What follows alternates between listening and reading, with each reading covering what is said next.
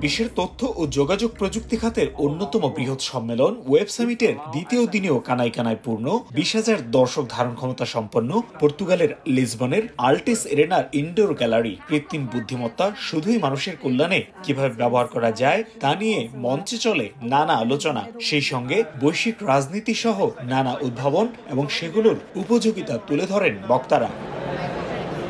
অন্যদিকে, বাইরের প্যাভিলিয়নগুলোতে দোকান নিয়ে বসেছে অসংখ্য প্রতিষ্ঠান। নতুন আসা স্টার্ট আপ কোম্পানিগুলো তাদের উদ্ভাবন, দর্শনার্থী ও বিনিয়োগকারীদের সামনে তুলে ধরছেন। ক্রেতাদের আগ্রহী করতে তুলে ধরা হচ্ছে খুঁটিনাটি বিষয়। বিনিয়োগের সম্ভাবনাময় বিভিন্ন খাত ঘুরে দেখছেন সংশ্লিষ্টরা। সৃজনশীল চিন্তা বা পরিকল্পনা বিনিময়ের পাশাপাশি প্রতিষ্ঠানের পরিচিতি বাড়াতে ওয়েব সামিট অন্যতম বড় মাধ্যম বলে মনে করছেন অংশগ্রহণকারীরা।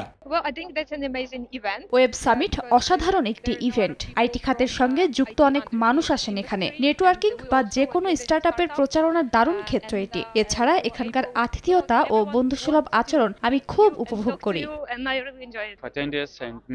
সাধারণ অংশগ্রহণকারীদের পাশাপাশি আমাদের মূল লক্ষ্য বিনিয়োগকারী ও মিডিয়ার কাছে স্টার্ট পরিচিত করা। সামনে আমরা নতুন স্টার্ট নিয়ে আসছি যেটা বিশ্বের পর্যটকদের জন্য এক ধরনের অনলাইন গাইড হিসেবে কাজ করবে। আমি মনে করি নতুন উদ্ভাবন বিশ্বের সামনে তুলে ধরার জন্য এটাই সবচেয়ে ভালো প্ল্যাটফর্ম ওয়েব সামিটকে ঘিরে উৎসবের আমেজ লিসবন জুড়ে চার দিনের এ সম্মেলন শেষ হবে বৃহস্পতিবার।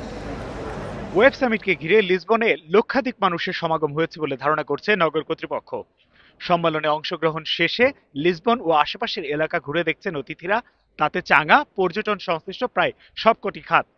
খুশি পর্তুগিজরা। তারিকুল হাসান আশিক সময় সংবাদ লিসবন পর্তুগাল।